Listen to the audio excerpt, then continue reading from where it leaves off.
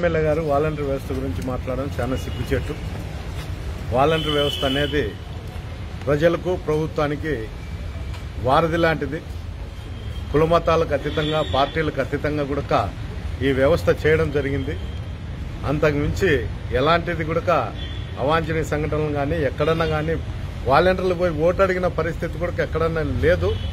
ఎక్కడన్నా కానీ వాలంటీర్ అనేవాడు రాజకీయాలకు సంబంధం లేకుండా ఇన్ని రోజులు చేసిండుకొని ఈ రోజు ప్రజలు కూడా మా నాయకత్వం మీద మా నాయకుడు జగన్మోహన్ రెడ్డి గారి మీద విశ్వాసంతోనే ఈ రోజు బ్రహ్మరథం పట్టడం జరిగింది ప్రజలు.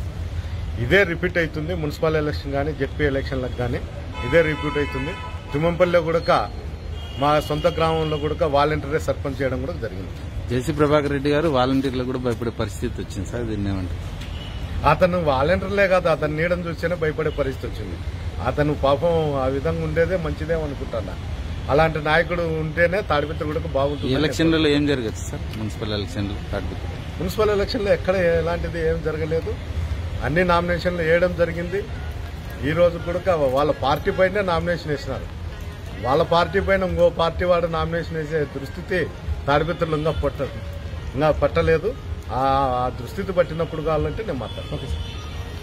Please subscribe to iMedia channel and click the bell icon for more notifications.